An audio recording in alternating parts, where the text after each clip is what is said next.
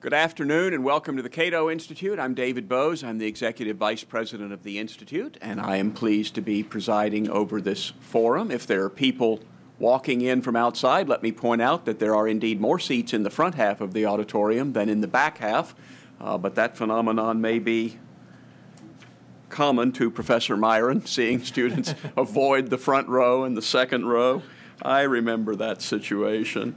Um, we're going to talk about libertarianism today. In his book, Radicals for Capitalism A Freewheeling History of the Modern American Libertarian Movement, Brian Doherty makes two claims about libertarianism that may seem to be in tension. First, he says, as the title proclaims, the most significant thing about libertarianism, the element that distinguishes its unique place in modern American thought, is that it is radical.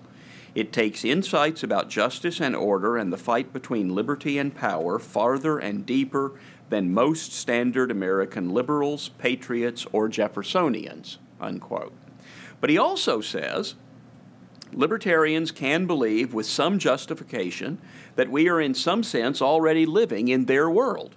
We are not living in Karl Marx's world. We live in a world energized and shaped by the beliefs of Karl Marx's political economic rivals and enemies, the classical liberals, the thinkers who believed a harmony of interests is manifest in unrestricted markets, that free trade can prevent war and make us all richer, that decentralized private property ownership helps create a spontaneous order of rich variety. And also, he said, it's hard not to see a world that is well worth celebrating, perhaps even reveling in, to the extent that it runs on approximately libertarian principles, with a general belief in property rights and the benefits of liberty. And that paradox may underlie some of the disagreements that our speakers today may have. Can these two sentiments, libertarianism as radicalism and the modern West as an essentially libertarian society, be reconciled? I think they can. After centuries of struggle, many of the aims of liberalism have in fact been realized in the United States, Western Europe, and an increasing part of the world. Our world largely runs on the basis of property rights, markets, religious freedom, free speech, and the rule of law. But that word largely remains a provocation to libertarians who understandably focus on the ways that governments fall short of liberal or libertarian ideals. Libertarianism has many founding texts from Adam Smith and John Locke to the works of Hayek and Mises. And maybe it's a sign of a movement coming of age that it now has an increasing number of guides to libertarian thought. When we published the Encyclopedia of Libertarianism, we had a line of copy that said Libertarianism has its primer, its reader, its freewheeling history, and now, at last, it has its encyclopedia. And today, I guess, we can say that now at last libertarianism has its dictionary, Libertarianism from A to Z by Jeffrey Miron. Jeffrey Miron is Senior Lecturer and Director of Undergraduate Studies in the Department of Economics at Harvard University. He is also a Senior Fellow at the Cato Institute. He was previously Chairman of the Department of Economics at Boston University. He holds a PhD in economics from MIT and has published more than 25 articles in refereed journals. He's written extensively on the economic case against drug prohibition, and he has been a vocal critic of the Treasury bailout and the Obama administration's fiscal stimulus. Jeff is also a star teacher. In four of the past five years, the senior class at Harvard has chosen him as one of their favorite teachers. His most popular offering is a course titled A Libertarian Perspective on Economic and Social Policy, which has attracted more than 800 students in just four years. He blogs about the book and about the uh, about current affairs at jeffreymiron.com. So please welcome the author of Libertarianism from A to Z, Jeff Miron.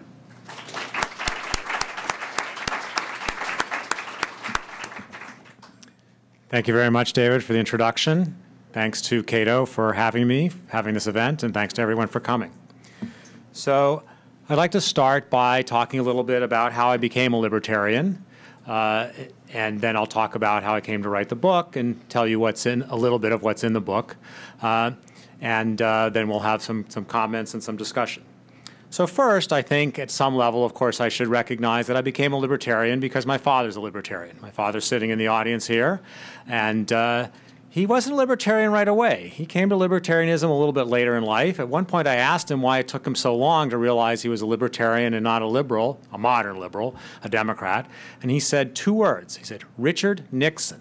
He said, if for too long he hated Nixon so much that he thought the alternative had to be the Democratic Party, but uh, after a while he realized that was just as bad as the Republicans and, and came to his libertarian uh, foundations. So that was certainly an influence. My mother has many, many great attributes. She's also here today, but being a libertarian is actually not one of them. So on this one point, I have to give my father credit, but not my mother. So about uh, 15, 20 years ago now, 15 years ago, I started to become interested in the economics of illegal drugs. Up until that point, I had been a macroeconomist. I studied and wrote about the standard sort of boring economicsy, should the Fed lower interest rates, raise interest rates, all this kind of stuff that's in the journals that makes people walk away from you instantly at cocktail parties after they ask what you do. Um, but I was visiting a place in Cambridge called the National Bureau of Economic Research, which was thinking about a project on the economics of illegal drugs. Now, their interest at the time was not whether prohibition is a good idea. Their interest was just are illegal markets sort of more or less concentrated than above ground markets? Is the demand elasticity for drugs different than for other goods?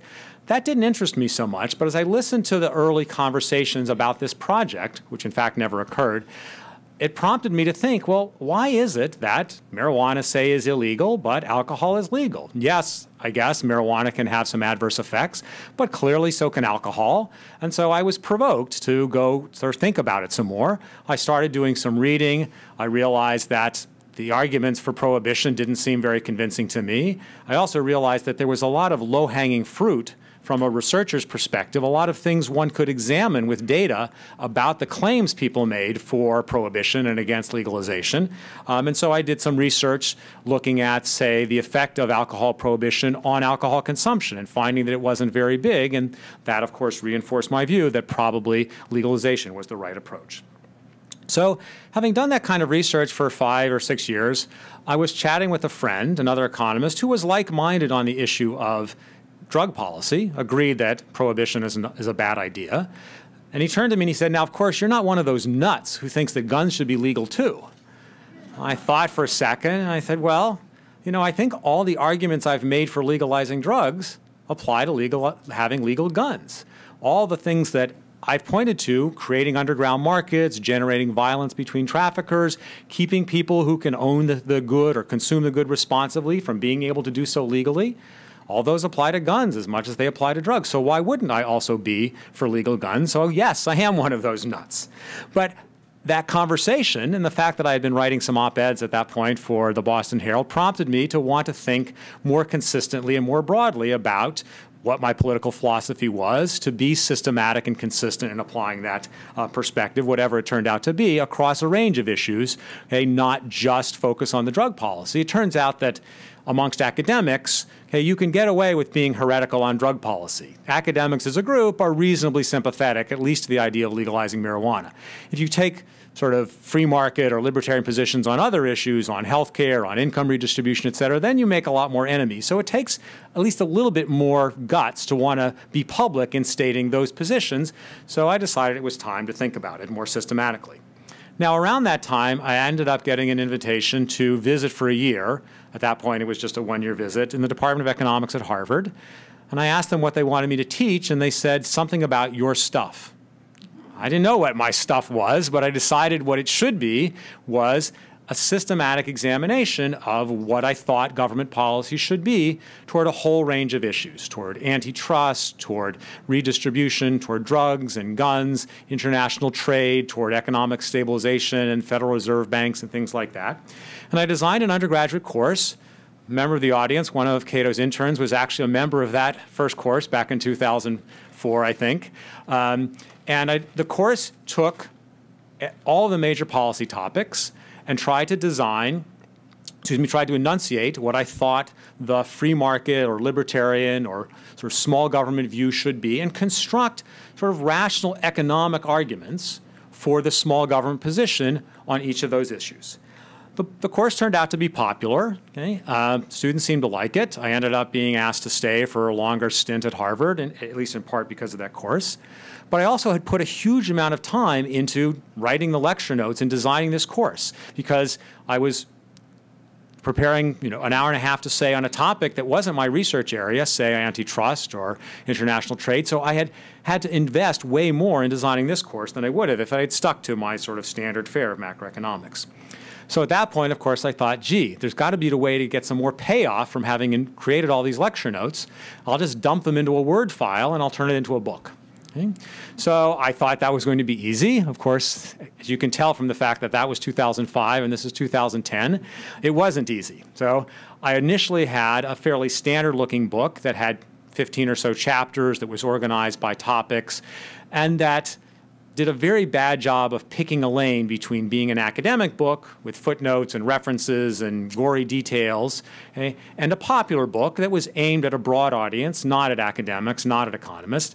And so my first publisher sent it out for review, and the reviewers hated it. The acquisitions editor hated it, and so we agreed that I would return the uh, advance, and we ripped up that contract. Around that time, I was also writing some op eds, and I was having fun with the op eds, and I was having some success, and people were telling me that they were clear and to the point. And I thought, oh, you know, writing things that are short is nice because one, if you're only going to write 750 words about an issue, which is a typical op ed, everybody knows you can't possibly dot all the I's and cross all the T's.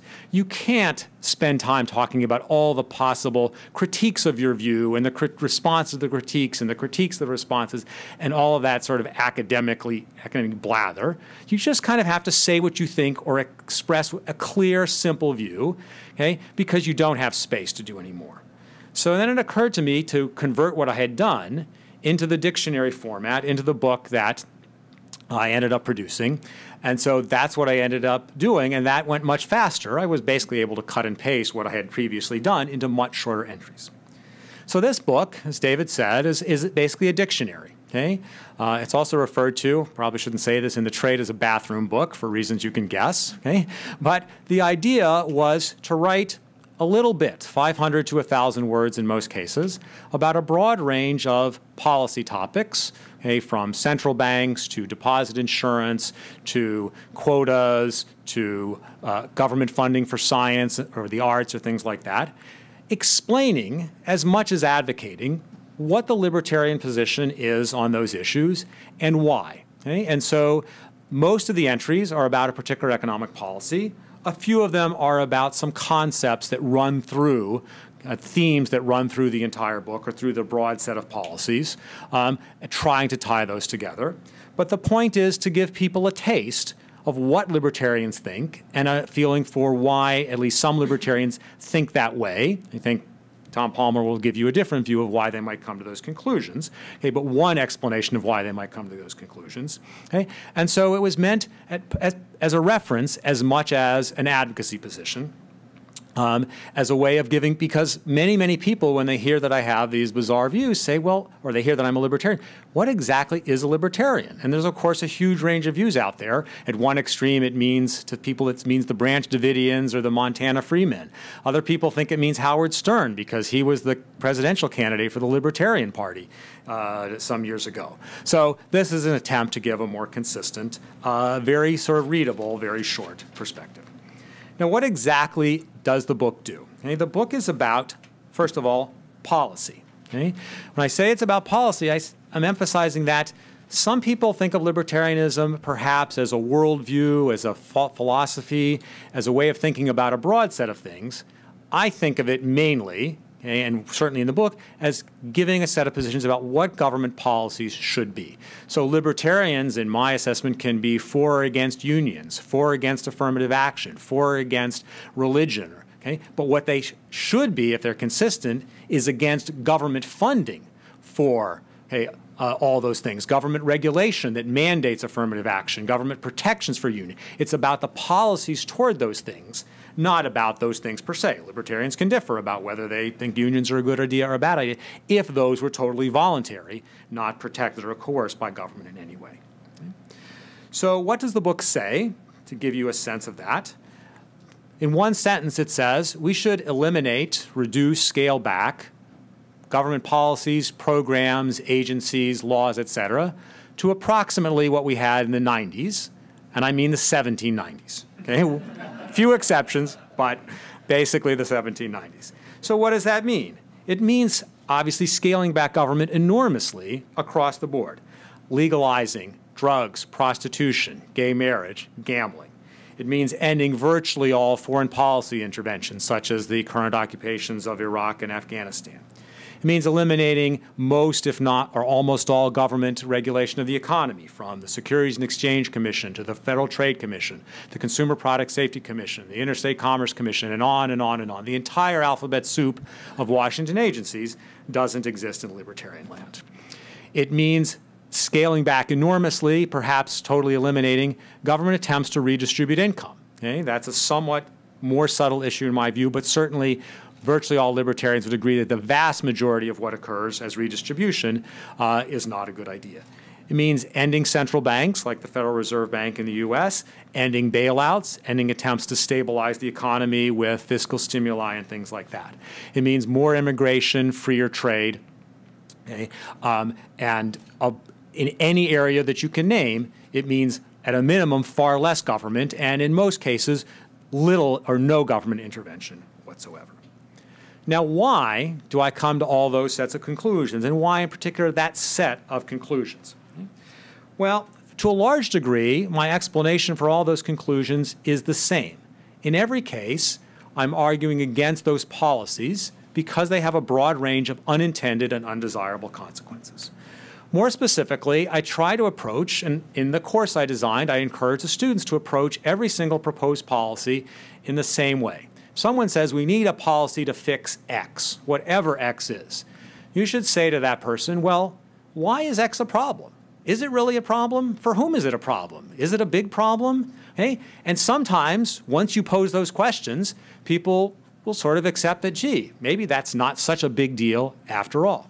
Second, even if, okay, there's some agreement that there is a problem, are you sure there aren't private sector solutions to that problem? Maybe things like consumer reports give consumers information about which products are good products and bad products, which projects they should avoid. And so you don't necessarily need an FDA or a Consumer Product Safety Commission to pr protect consumers from the occasional unscrupulous seller. Okay, maybe private mechanisms will deal with those on their own. Second, a step, say that whether you, I agree or disagree with the person I'm having this conversation with about whether there's a major problem to be addressed, about whether private solutions can fully address it. The second question is, well, what's your proposed intervention? What are you saying we should do to address this? And how do you know that it's actually going to uh, affect, reduce the problem that you're trying to reduce? You may think that use of illegal drugs is a problem. Reasonable people, in my view, can disagree about whether that is a problem at all. But even if you agree it's a problem, do you think that prohibiting drugs is actually going to reduce illegal drug use? Okay? You should have at least some conviction or some evidence that prohibition will accomplish that goal. Otherwise, no matter what you think about how evil drugs might be, trying to reduce them with prohibition is a silly thing to do because you're not accomplishing the stated goal. So we have to ask about every policy will it actually accomplish the thing that it says it wants to accomplish, whether that, that goal is one that's desirable or not? And third, what other effects is it going to have? What are the unintended consequences? In virtually every case, we can point to a broad range of things that will happen as a result of a policy intervention that are not things that the advocates of the policy ever talked about. Sometimes the advocates of the policy don't recognize that they exist. Many cases they do, but they don't want to admit to them because that would sort of get in the way of getting those policies advanced. Okay? And so we should recognize that all of these things okay, are going to be impacts of standard policy, uh, of most policies, and therefore we should take into account all the effects, not just the stated or the feel good effects. Maybe you think that redistributing income to the poor is a good idea. Okay? So people have different views about that. But you shouldn't be able to, to avoid in a discussion of whether to have such a policy the fact that when you redistribute to the poor, you affect incentives. You affect the degree to which people are going to want to work hard okay, in order to avoid being poor because you're going to be promising that they'll have some level of support even if they don't work hard. And any rational person, any honest person should want to recognize both effects, both that you might help some people that you think of as deserving, but you also might generate some behavior you don't want, people working less hard if you undertake to redistribute to the poor. Okay? And so my uh, request to the students, my request about every policy is to ask, once you recognize all of these things, Maybe it's not such a huge problem in the first place after you think it through carefully. Maybe private sector responses will do a pretty good job of addressing the problem once you think about it carefully. Third, it may not accomplish its goal. And finally, it may have all the other things. If at the end of the day, you're convinced that it's still a good idea to have this policy, well, of course, you're entitled to that view. Okay? But everybody should basically accept that framework, okay? Because that's what you know, any rational evaluation should do is ask about the entire range of consequences of any intervention. Now, my claim, okay, the controversial thing in the book is not that we should think about policies as consequentialist. If, you know, put in the right terms, everyone in the political debate would say, well, of course, yes, we should recognize all those things. The claim, which is more controversial, is that in a broad range of areas, okay, the unintended consequences are huge the ability of the policies to actually accomplish their stated goals is pretty limited. And so, in a vast majority of the areas, the whole set of consequences from intervention is much worse than the set of consequences from non intervention, even though private markets aren't perfect, even though various private arrangements have lots of imperfections. We shouldn't think that free markets and non-intervention is perfect, we should think that it's better than the alternative. Okay? And so that's the consequentialist approach. That's the approach presented in the book about how we should think about policy, and that's what I refer to as consequential libertarianism, often referred to sometimes as cost benefit libertarianism or empirical libertarianism or maybe just economic libertarianism, but it all gets at the same thing. We're taking policies one by one. We're not necessarily asserting that interventions are bad ex ante. We're evaluating each on its merits, but concluding that in the vast majority of cases, hey, there are far more demerits than there are merits. So, my hope for the book, and let, let me um, illustrate, okay, briefly with one application. Okay? So, the area I've done the most research on, the specific area, is drug policy. Okay? Standard, what's the claim for having policies toward illegal drugs, such as drug prohibition? The claim is that people use drugs in ways that are harmful for themselves or harm, harmful for others. And of course, at some level, that claim is indisputable. Some people use drugs in ways that make them sick or lower their productivity. Some people drive under the influence or operate heavy machinery. Okay, some people use drugs in a way which contributes to the breakup of their family. So there's no doubt that that claim is accurate to some degree. Okay? But calm assessment of the evidence suggests that the frequency with which people misuse drugs from their own perspective or from society's perspective is much smaller than standard press accounts, standard depictions in movies, and things like that. It suggests that it's a little different than the frequency with which people misuse things like alcohol or tobacco, or indeed downhill skiing or driving too fast on the freeway or eating too much uh, saturated fat and, and so on, so that there's no obvious reason to think that illegal, currently illegal drugs are so different in terms of their characteristic than tons of things that are currently legal. Secondly, even if we took as given that policy might want to do something about illegal drugs because sometimes they're misused.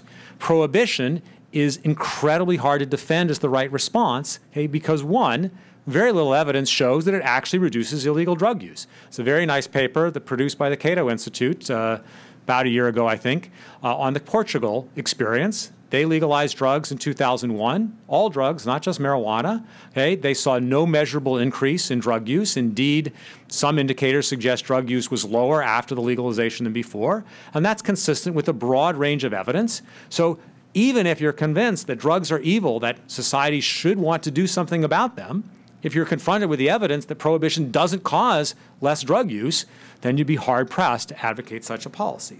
And of course, on the third dimension, unintended consequences, it's clear that drug prohibition has a huge range of negative things that everyone should think are negative if they accept the basic analysis. So driving markets underground creates violence and corruption.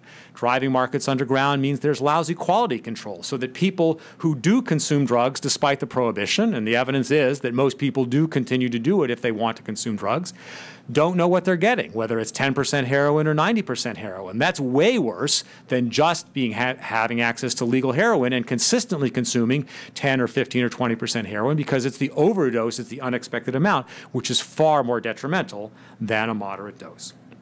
And the list of unintended consequences goes on.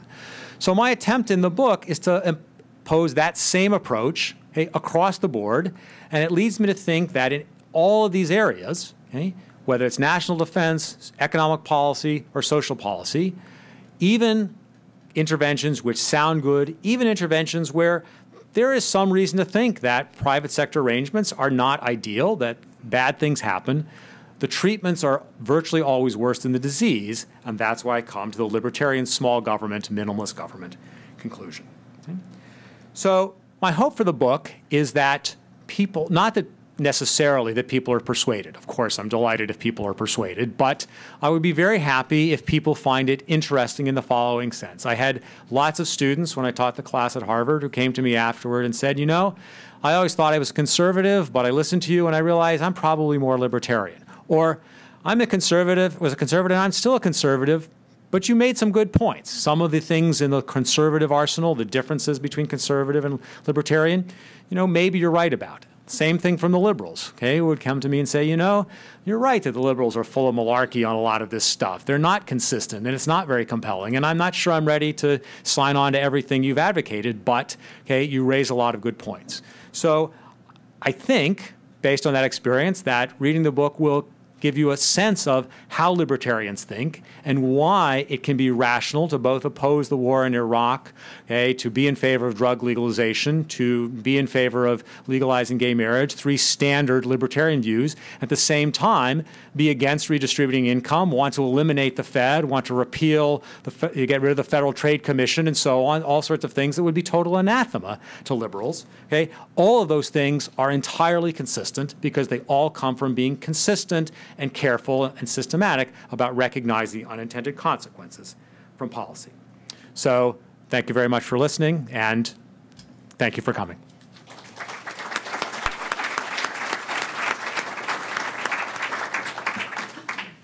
Thank you, Jeff.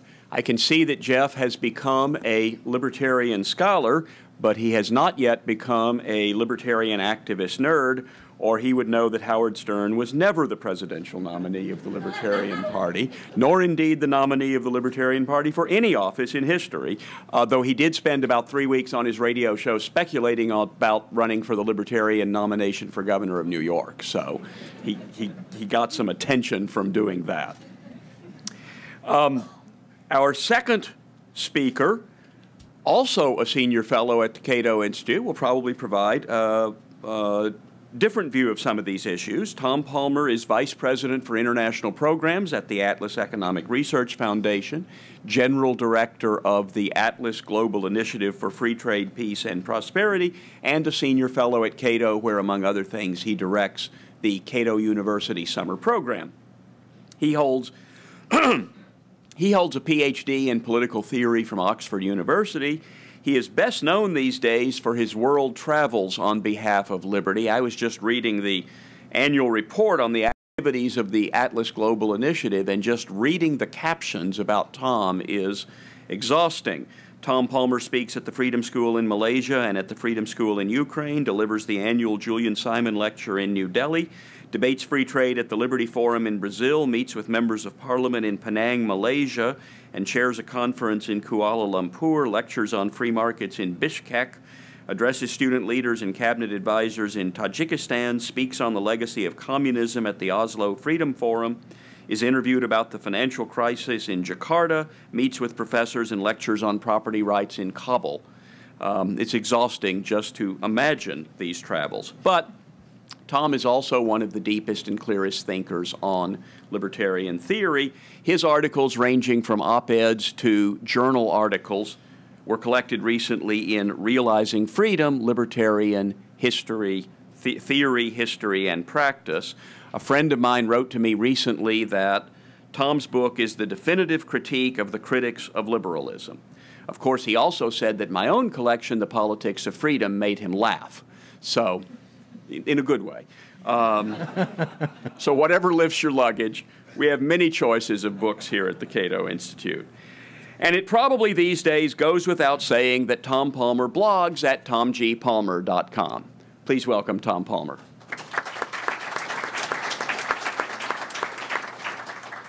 Thank you, David, and thank you, uh, Jeff, for uh, your early remarks. It was a very nice summation of the book.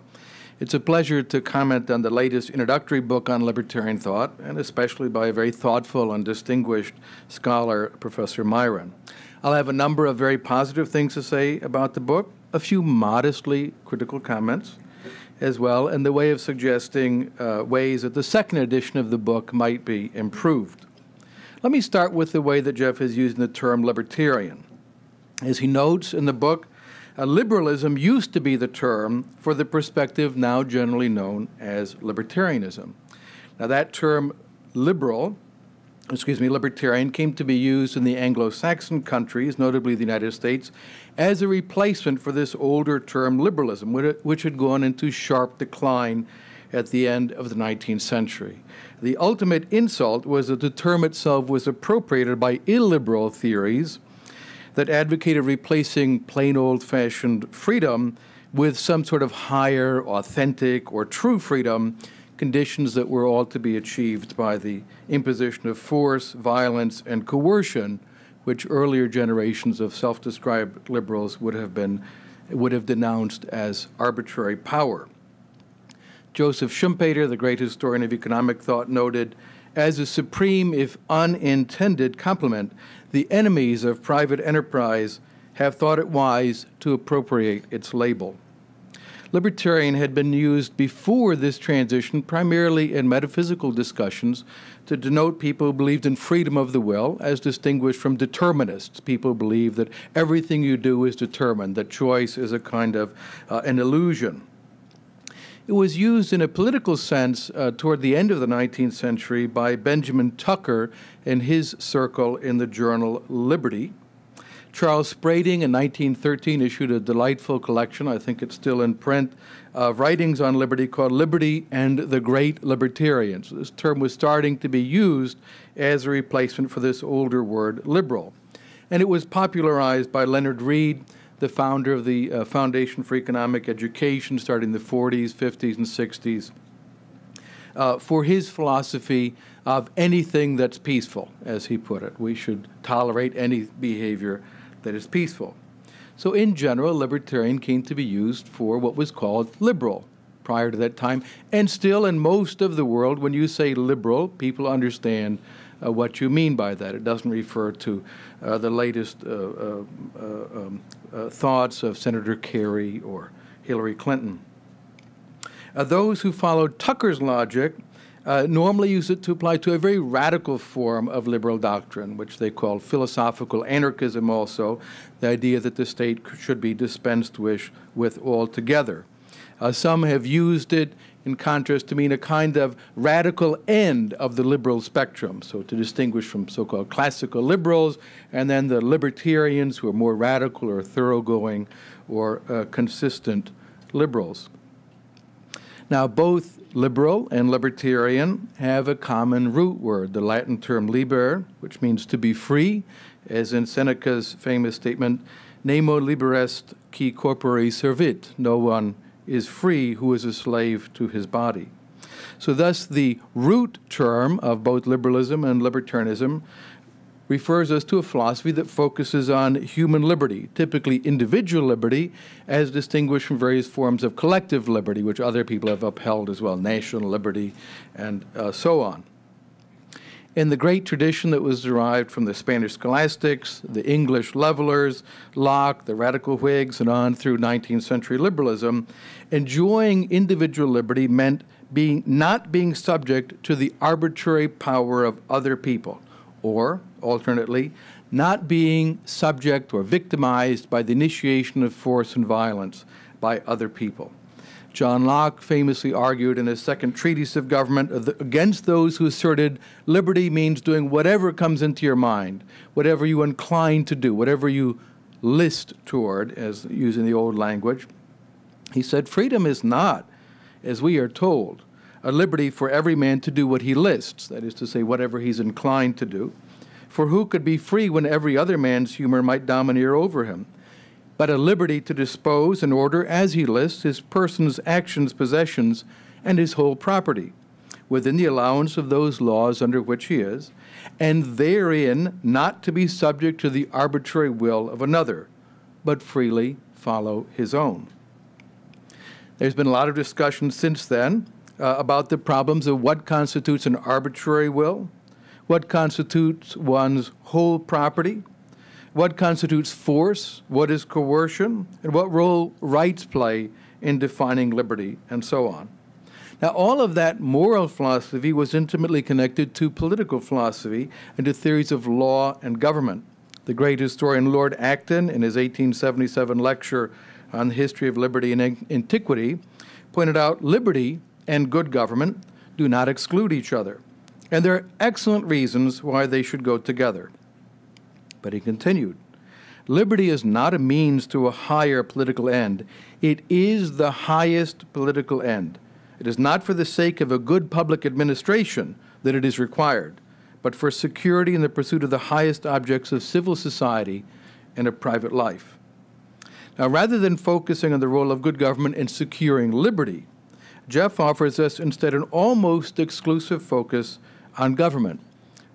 Liberals or libertarians believe that government, if it is justified at all, may legitimately exercise only limited powers as James Madison pointed out in Federalist number 45, the powers delegated by the proposed Constitution to the federal government are few and defined. So just libertarianism is focused not on the securing of liberty as the highest political end, but on the limitation of government. As he points out in the very first page of the book, libertarianism argues for limited government across the board. And much of the book consists of arguments that more extensive government has bad consequences. We heard a very uh, helpful synopsis of the book, and that we should therefore embrace limited government, which he offers as the central feature of libertarianism. There are very interesting and helpful discussions of the ways in which policies and rules interact with purposive agents. If you impose mandatory savings requirements, it's quite likely people will go in debt in other ways. They might, for instance, uh, take out uh, second home loans. Uh, or mortgage themselves. If you make it illegal to consume narcotics, people will find other ways to go about doing that. If you uh, establish uh, health care mandates, people are going to adjust their behavior appropriately. And that's a very, very salutary uh, discussion and quite helpful. The various chapters offer many wise and insightful comments, although in almost all cases they would have been more helpful had they been supported by available empirical evidence. And I'll talk more about that in a moment. Jeff re rejects the kind of reasoning uh, that he calls philosophical libertarianism or rights based libertarianism because, and I quote, the arguments presented by some rights based libertarians can seem difficult to evaluate because they start from assertions that are not readily amenable to analysis or empirical examination. Instead, he offers us what he calls consequential libertarianism based on his claim that most government interventions are undesirable because they fail to achieve their stated goals or because they generate costs that are worse than the problem they purport to fix. And he concludes uh, very neatly the consequentialist approach is thus a cost benefit calculation, albeit one of the broad view of costs and benefits. Okay, I think this is very intelligent and well put. He then does offer a, an olive branch to the um, backward Rube like philosophical libertarians when he says that their view, quote, is in fact a consequentialist perspective. It is simply concluded that principles like always respect individual rights are useful rules of thumb for balancing the positive and negative consequences of interventionism. Thus, Jeff is arguing that such views are forms of what are called, in that uh, boring and backward moral philosophy, hypothetical imperatives. That is to say, if you want prosperity, you need to do these things, as opposed to a categorical imperative. But he seems to rule entirely out of discussion other kinds of what we would call deontological forms, views of justice. Uh, but I should point out there's an awful lot smuggled in to what he presents as a common sense consequential viewpoint. For example, what constitutes a good or a bad consequence? We take it for granted. We, we teach at Harvard. We live in Washington. We all know what good and bad consequences are. Well, I'm going next way to Afghanistan, and I can tell you there's not a universal human consensus on what good and bad consequences are. We forget that many writers, also in the Western tradition, have advocated violence, war, conquest, genocide, extermination as the highest virtue for mankind, and rejected libertarian views precisely because they differed on what constituted human virtue. They differed on what constituted a desirable or an undesirable consequence. Now, think about such popular writers as Carl Schmitt. I don't mean in the popular sense, but he's very much in vogue in political theory today. Uh, absolutely monstrous human being, uh, the leading juridical thinker of the Third Reich, and the darling of the anti globalization movement. Read anti globalization texts, and at the rotten core is Carl Schmitt in every case. He opposed liberalism because we believe in peace, and he defined the political as the confrontation of enemies. That is the definition of political life. Or the brilliant novelist Ernst Junger, uh, who presented an aesthetic view of life in conflict with other human beings and life in violence his novel, The Storm of Steel, about his experience as a stormtrooper in the First World War, is an extremely powerful statement of this anti liberal view. Marxists reject liberalism because they disagree on the nature of the human essence. As Marx put in his essay on the Jewish question, man is a species being. Now, these words have significance and import. They were put into practice by Lenin and his followers. When they exterminated their class enemies, when they issued orders to shoot on sight, when they issued commands to arrest so many people, quotas of arrests by each Soviet Socialist Republic, and quotas of executions, not arrest our enemies, but arrest 17,000 people and execute 9,000. They did that because they understood nothing is lost when we exterminate our enemies. The individual human being does not matter. The individual is merely epiphenomenal, foam on the surface of true humanity, a mere moment in the process of the attainment of human self awareness, the overcoming of history, and the conscious planning of our own future as a species being. Jeff has to rely on all of those philosophical arguments in order to come to what he calls a consequential libertarianism. He has to rest on the view that the individual human life matters, that each person is precious, that everyone has a life to lead, as it was put by the levelers. Without that, he can't tell us which consequences are good or bad, or even whether every person is to matter at all. For that, we have to turn to the philosophical or rights based libertarianism. Moreover, at times his arguments become circular, and I think that's because he's a decent person. Uh, freedom is valuable because it generates good consequences. But among the good consequences he cites in many of the essays is freedom. For example, in the discussion of false and misleading advertising, he notes, quote, much advertising provides useful information about new products and their features. As a small quibble, I would point out that would not be true of false and misleading advertising. It would have to be true and non misleading advertising for that to be true, but that's a quibble. Much more importantly, is the emphasis he puts on freedom as valuable for its own sake. Quote, restrictions on advertising are infringements of free speech. Earning a living is a crucial freedom, and advertising helps many people earn a living. It's a crucial freedom. Freedom is here presented as something valuable for its own sake. He continues Indeed, technologies like the internet make it difficult for governments to restrict freedom. and advertising is one mechanism that supports the internet. Commercial speech is therefore an important protector of the freedoms safeguarded by political speech.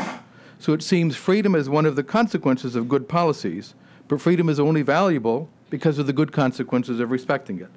And this seems less than tightly argued to me. Now, he did try to deal with the matter when he concluded this section on consequential versus philosophical libertarianism with this statement, quote, people who want to emphasize liberty, of course, are free to include it as a consequence of limited government. The explicitly consequentialist approach simply forces such arguments to discuss the possible trade-offs between liberty and other effects of policy. Now, I would think that, quote, people who want to emphasize liberty would be called libertarians. That's what it means to be a libertarian, is to put liberty at the center of your political philosophy. So let's go back quickly to the matter of evidence. He suggests that the so-called philosophically based defenses of libertarian uh, policy conclusions seem to be assertions that lack factual justification. Unfortunately, there's very little factual justification presented in the book. It's a short book, and I'm not going to beat up why wasn't it another 100 pages longer. But I think it would have been stronger and more interesting had there been uh, some opportunity to give access to the factual evidence to decide these issues. So I could contrast it with Charles Murray's book, similar, also quite short book, What It Means to be a Libertarian, in which he offers some evidence, but very importantly, a wonderful test, the trendline test, which he describes. Advocates of state policies typically show you changes in good or bad outcomes after the enactment of some policy. So you see the graph, Occupational Safety and Health Administration has started this year, and look at what happened. Accidents on the job decline. And Charles says, well, that's interesting, but let's ask what happened before that. Let's look at the trend line before, and you see the slope of the line did not change, which suggests that perhaps uh, the policy had uh, minimal value, uh, if any at all. It's a very simple test, but it's very, very valuable. Something like that I think would have improved Jeff's book. It's full of statements that I think are almost certainly true. But I would like to see the evidence presented in some place in the book that would allow me uh, to check that. Uh, possibly uh, short uh, discussion at the end of how to go to the statistical abstract or how to check empirical claims. Now, in effect, Jeff's book is mainly about policy and the need to rein in government before the costs of state action exceed the benefits. But there's not a lot of meditation on what counts as costs or benefits or whether freedom is a very good thing just in and of itself. But he does get at something that's very important. And despite my critical remarks about his uh, understanding of the relationship, uh, the foundations of political and legal morality, he's definitely right about a very important question and that is, is about the rule of rights. They provide the standard of behavior, what he calls rules of thumb, but not the goal of a system of rules as such, which is to live in a good, prosperous, just, and harmonious society. We resort to rights talk primarily because we don't have the resources to weigh the costs and benefits of every possible allocation of scarce resources in the world. And so we use simple rules. This belongs to you, this other thing belongs to my other neighbor. Something belongs to me. And at the center of those rules we, are what we call rights. That said, I do think that freedom is in and of itself, irrespective of other considerations, something of value. And that's a position that Jeff seems to both deny and affirm in the course of the book. Now, what I also found interesting about it is that a short treatise on good government, which I think is what the book is about, is presented as a treatise on libertarianism.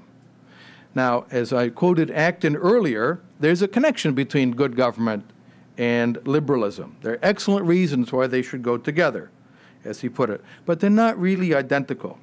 I think that what Jeff has offered us is a very helpful overview of what would be good government, good government that would go together with liberty. And policymakers should be mindful of trade offs.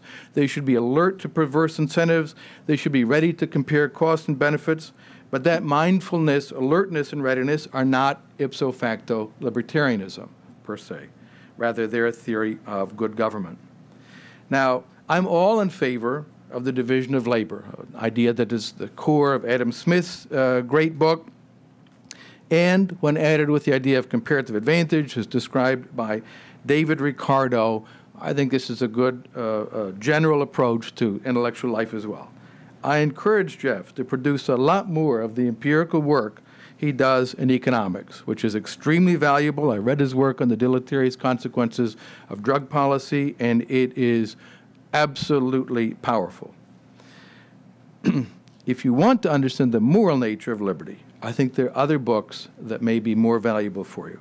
But if you want to understand the nature of good government, the ideas of moral hazard and health insurance, perverse incentives, the nature of externalities, and many other issues that require rigorous analysis, libertarianism from A to Z is an excellent place to start. Thank you.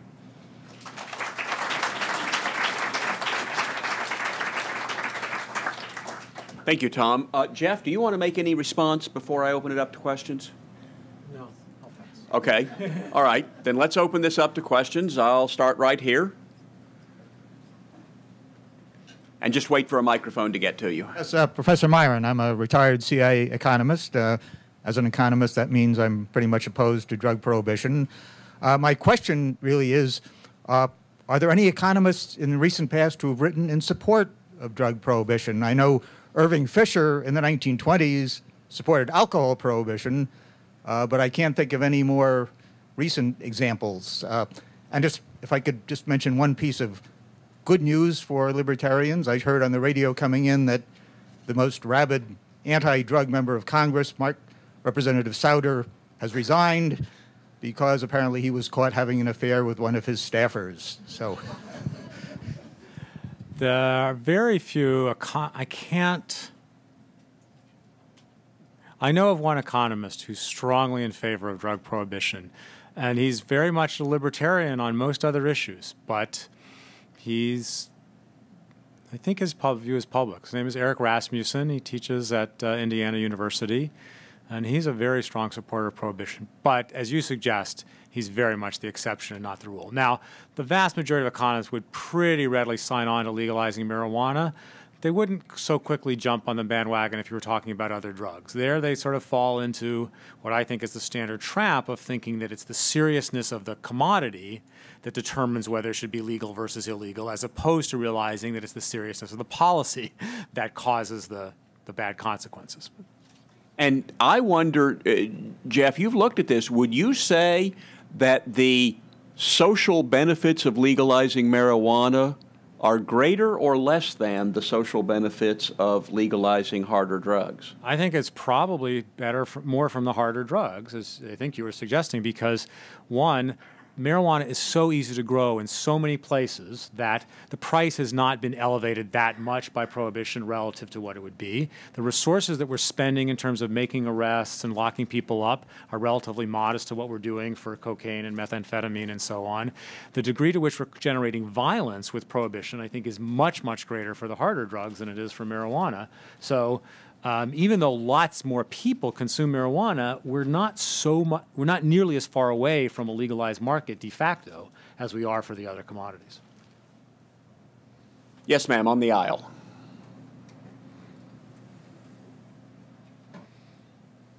From the Society for the Psychological Study of Social Issues. Hold, hold the mic close to your mouth. Even closer. Okay. Um, my name is Jutta Tobias. I'm from the Society for the Psychological Study of Social Issues. Professor Miron, thank you so much for your lucid comments. Um, I'm a psychologist studying entrepreneurship, and the more I think about libertarianism and guided by your thoughts, the more I realize this is what I ad admire as well and adhere to. Um, one of your comments struck me, though. Um, you were saying that income differentials between rich and poor tend to be left alone by libertarian thought.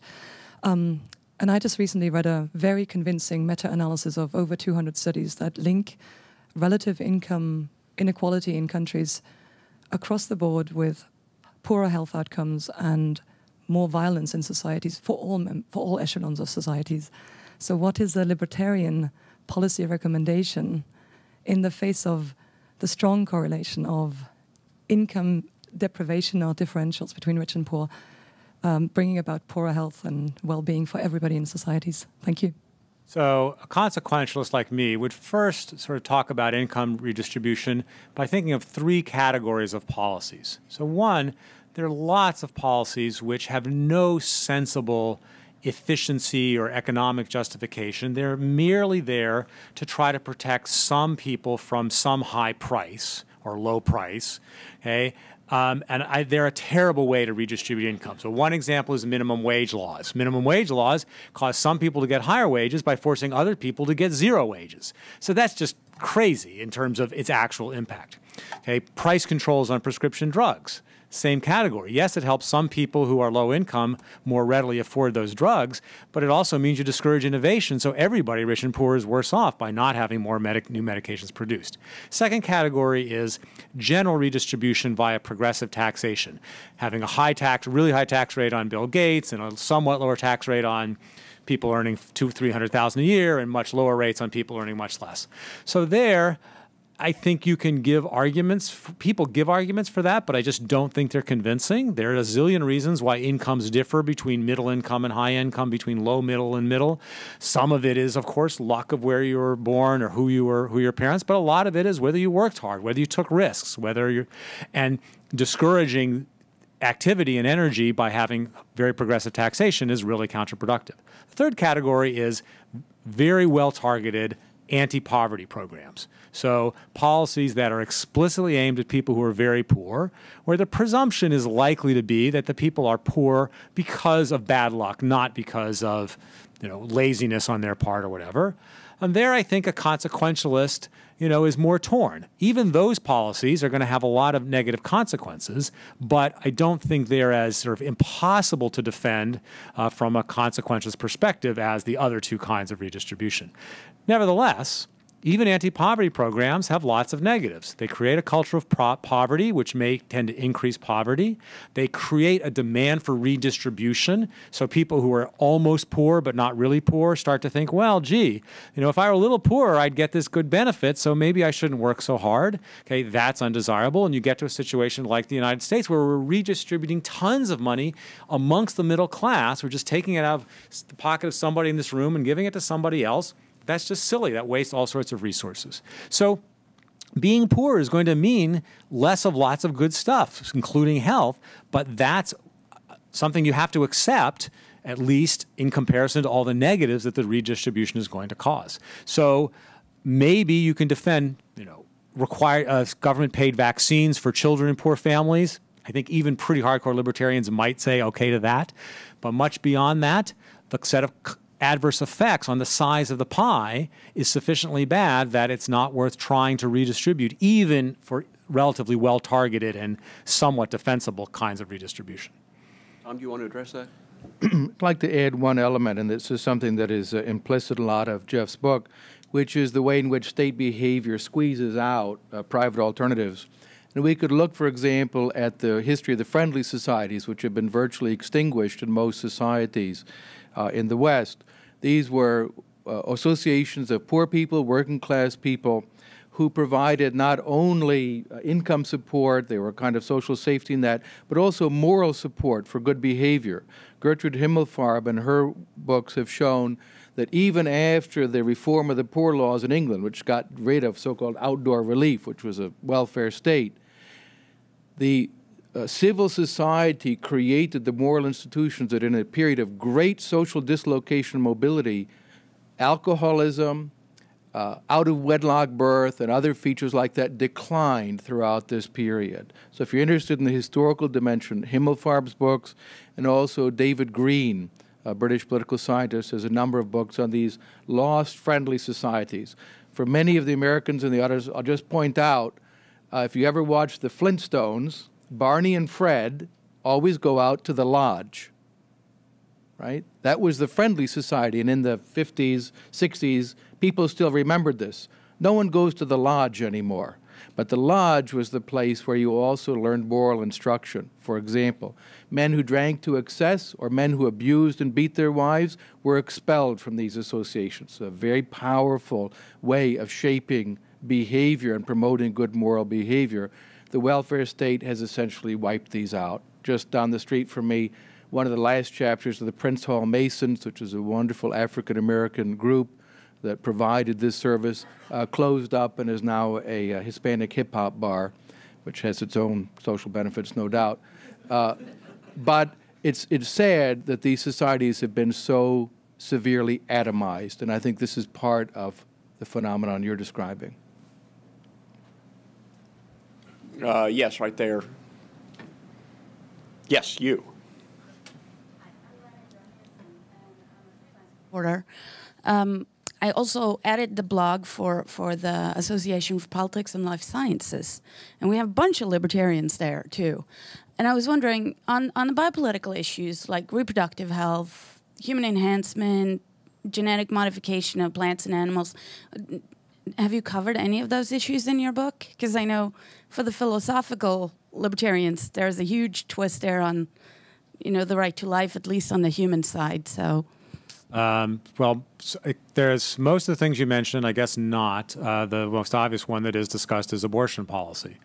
And the position I take there is that we shouldn't be talking just about whether abortion is good or bad. As from the perspective that Tom is describing, designing government, we have to talk about whether laws that prohibit abortion are good or bad.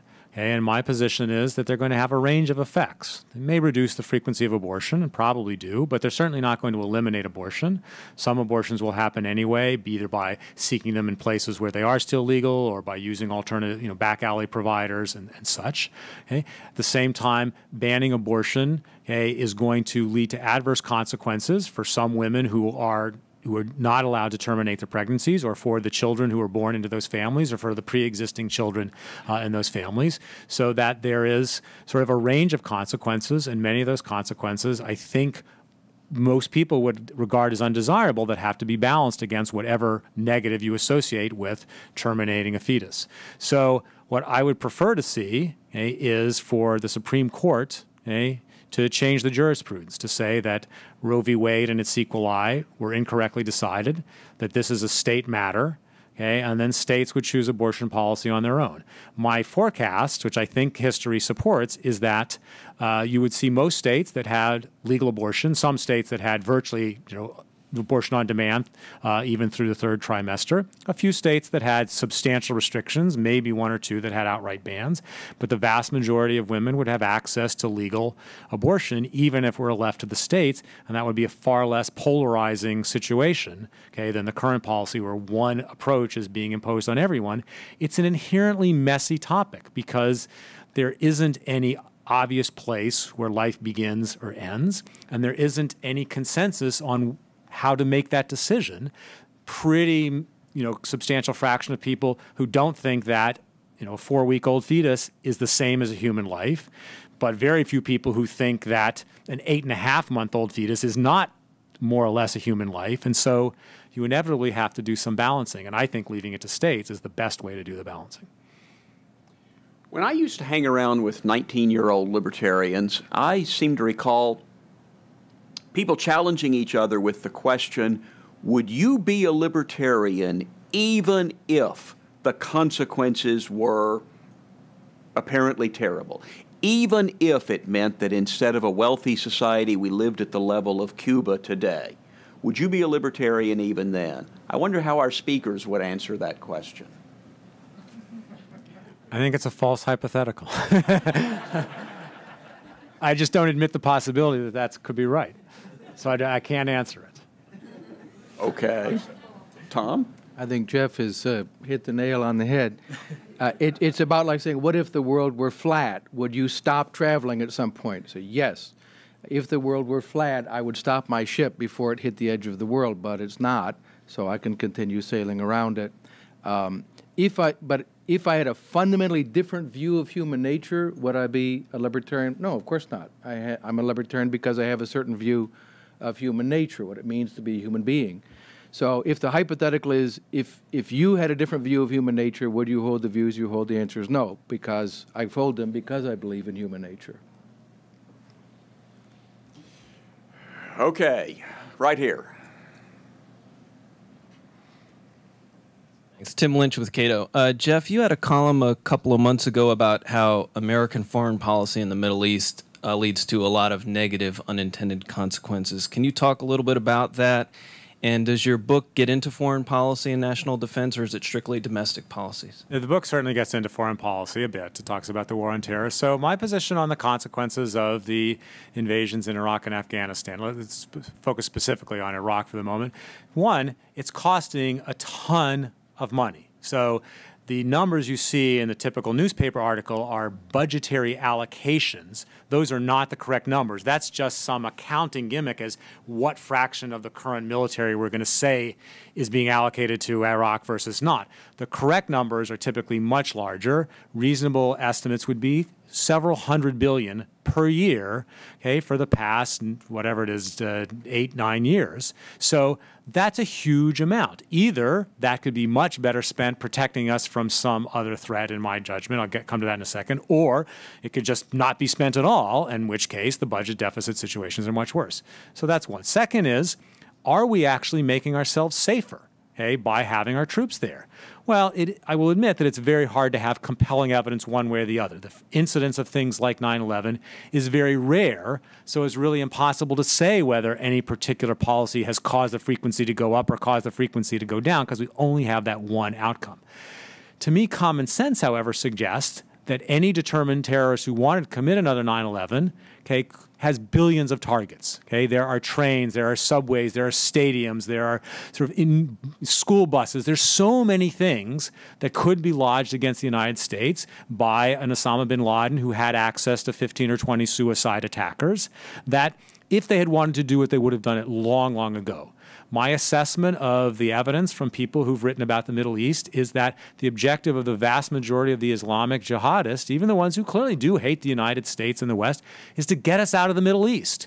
So we're being attacked in the Middle East because we're in the Middle East. And were we to leave, were we to intervene much less, if we were to you know, not be selling arms to both Egypt and Israel, if we were not stationing bases in Saudi Arabia and so on, the antipathy toward us would be substantially reduced. Probably doesn't mean there would be zero attacks against us, but the incidence would be small. So our presence is, if anything, making things worse. It's generating negative uh, attitudes in the rest of the Middle East. Okay, and so I find it very hard to see that there are consequences that are beneficial that are greater than this very explicit cost that we're incurring, plus these intangible costs of generating unhappiness around the globe. Right there.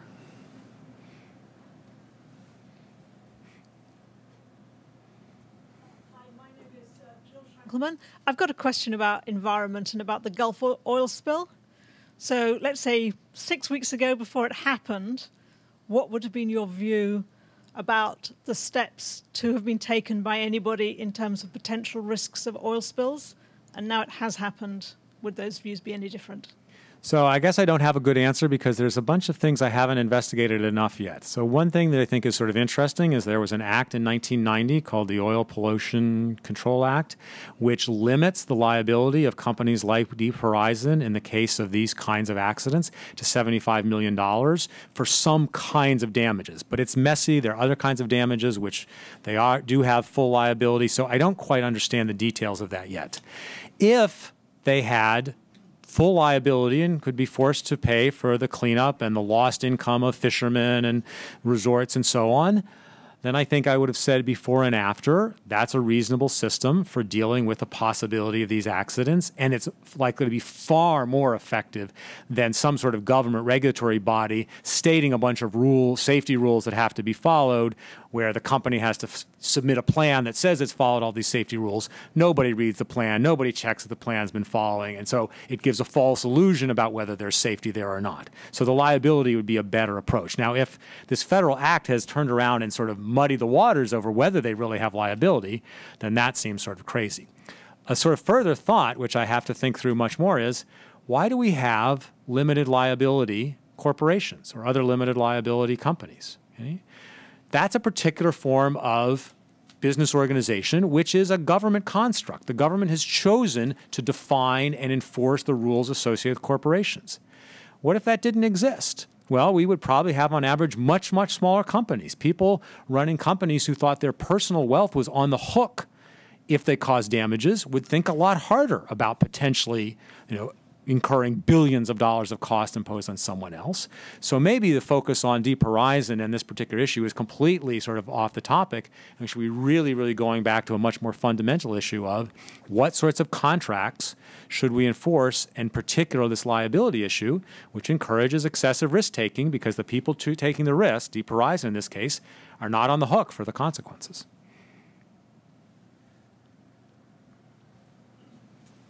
All the way in the back, and then you can keep the, the microphone up there, and, and Ashley can ask the next question.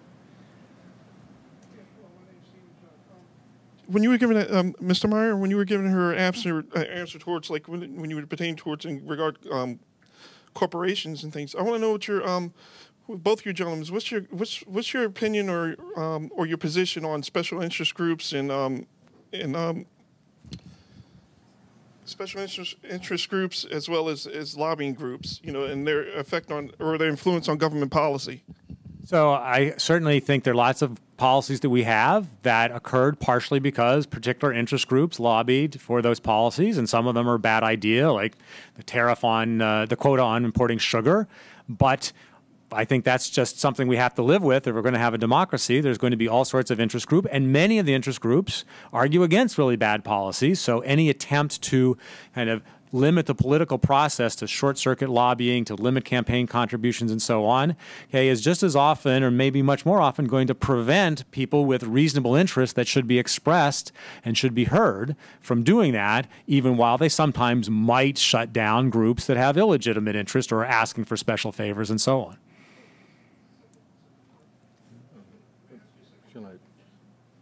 Okay. Go ahead.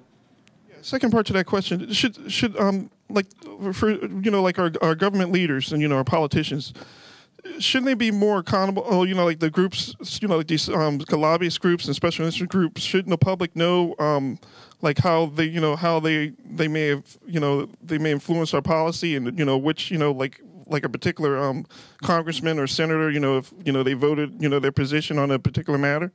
I totally agree. It would be desirable if we knew sort of a lot about which potential, which politicians had received funding from this source, what their own sort of interests were, why they might tend to tilt in one direction or another. The question is whether government policies and government rules like campaign uh, contribution limits and lobbying rules are going to produce that transparency. And my assessment is that it doesn't, that the media to some degree and other private interest groups do, do a much better job of providing accountability okay, if we got the whole campaign finance apparatus out of the picture. So imagine that there's no government limits, there's no government insistence that you have to disclose the sources of your funding if you're a politician, but some reporter says, you know, candidate so and so, who are your contributors? And the candidate says, I'm not going to tell you.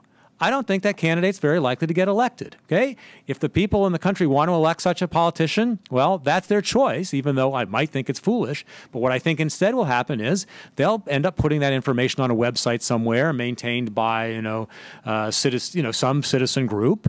Okay? And then other reporters will go and check it and they'll say, well, you say you only got campaign contributions from these you know 15 sources, but I've determined that you actually got it from a lot of others. And the media, along with these other public interest groups, will expose candidates who are lying and who are getting contributions from various sources much better than the current government system. Let me add a, a quick comment on corruption.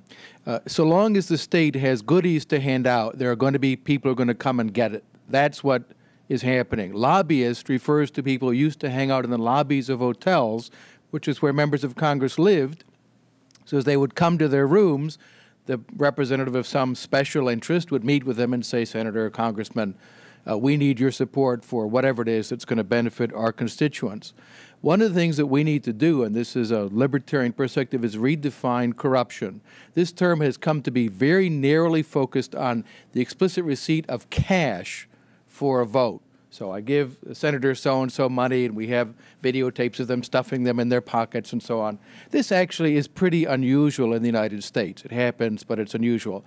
But we have a deeper kind of corruption, which earlier generation of liberals would have identified as corruption. When a politician says, vote for me, elect me, and I will take things from other people and give them to you, that's corruption.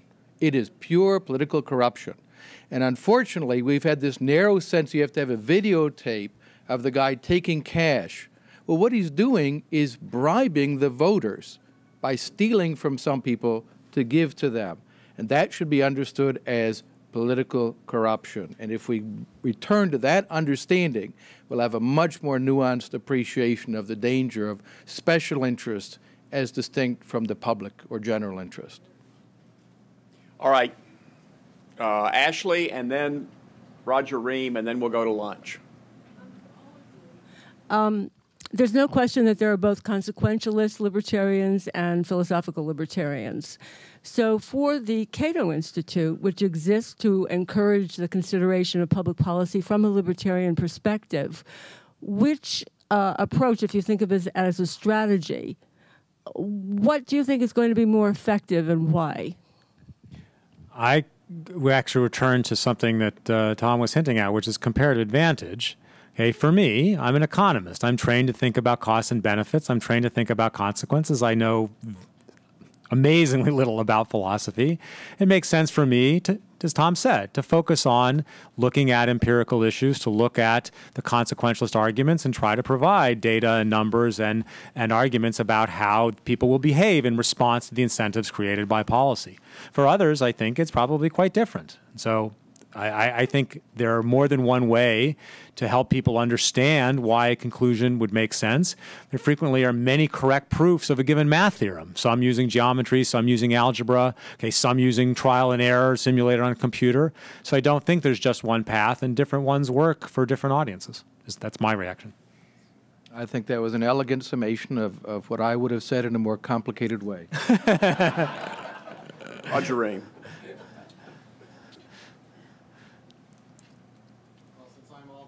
Between us and lunch. I'll be very brief, but I want to get at David Boaz's uh, hypothetical, maybe a little more practical way.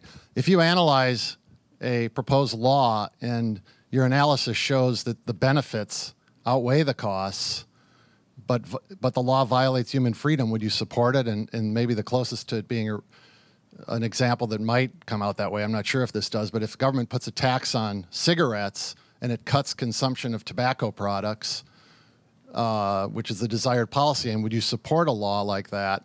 Uh, or any other example like that? Would your consequential approach? So, so I, it's, it's, a very good example. So I would not support. I, I do not support sin taxes generally. Okay, taxes on particular commodities that some part of society thinks is a bad thing to consume for a variety of reasons, whether that's gasoline because it hurts the environment or it's alcohol and tobacco because they are bad for the user. Hey, but I think one doesn't really need to use the word freedom to come to that conclusion. As I just discussed, you could use a freedom type argument. But first of all, you're going to make the people who continue to consume the commodity after you impose the sin tax worse off because they're still getting whatever bad health effects there might be, and they're paying more money for the cigarette, so they have less money to spend on clothing, health care, shelter, etc. Okay? You are frequently choosing which things to define as sins based on political prejudice, not on any thoughtful evaluation of which commodities actually generate bad effects for the user or for society as opposed to are just perceived or asserted to be bad. If we were going to tax things that you know, lead to lower productivity, maybe it should be Jay Leno or any TV show that happens after 11 o'clock because people stay up too late and they're sleepy the next day, rather than thinking that it's taxing alcohol or cigarettes or something like that. At a minimum, it would be incredibly hard to know. Okay, there's a standard argument specifically about cigarettes that says when you know, people who consume cigarettes are imposing a negative on everybody else because they make themselves less healthy and therefore they consume more publicly funded health care. Well, that might be true. It seems to be partially true, but it's also true they tend to make themselves die younger, which means they don't collect Medicare and Social Security. So if you're going to use the sin tax argument and be consistent about it, you'd have to accept the possibility that there's certain th- risky activities, skydiving or smoking, that we should subsidize. Okay? Okay? Nobody would ever accept that argument. But that means that when people use the sin tax argument in favor of the tax, they're basically using it as a political crutch, as a political sort of gimmick, not because they necessarily believe all the, the, the underlying assumptions. Thank you. All right. Thank you, Jeff. Um, thanks all of you for being here. Copies of the book are outside for purchase and for signing, and also copies of Tom Palmer's book. Oh, okay. we, we got,